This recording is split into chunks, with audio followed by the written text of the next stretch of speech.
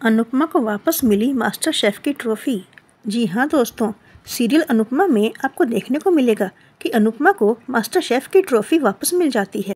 दरअसल होता यूँ है कि शादी के बाद बात सब लोगों को मिठाई बांट रही होती है। तभी अचानक से सबको एक आवाज़ सुनाई देती है, अनुपमा जोशी। सब लोग हैरानी से दरवाजे की तरफ़ देखते हैं तो वहाँ पर मास्टर शेफ़ के ओनर खड़े होते हैं। उन्हें देखकर अनुपमा को याद आती है कि कैसे उसने मास्टर शेफ़ की ट्रॉफ़ी जीती थी और कैसे उसे खो भी दिया था।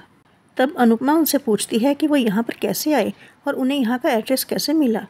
तब वो अनुपमा को बताते हैं कि मैं यहाँ पर मास्टर शेफ़ की तरफ़ से तुम्हें तुम्हारी ट्रॉफ़ी और मास्टर शेफ़ का किताब वापस करने के लिए आया हूँ। ये सब सुनकर अनुपमा को लगता है कि वो कोई सपना देख रही है।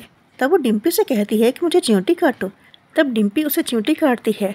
तब ओनर कहते हैं कि यह कोई सपना नहीं है, बल्कि सच है। राहुल नाम का एक व्यक्ति हमारे पास आया था। उसने तुम्हारे साथ जो भी कुछ गलत किया, उसे कबूल किया, और वो भी पूरे सबूत के साथ। और मिस्टर गुलाटी पर भी जाँच पड़ताल चल रही है।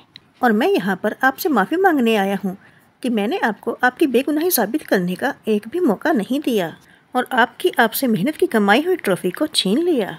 तब वो अनुपमा को मास्टर शेफ़ की ट्रॉफ़ी वापस करते हैं, और सभी लोग तालियाँ बजाते हैं।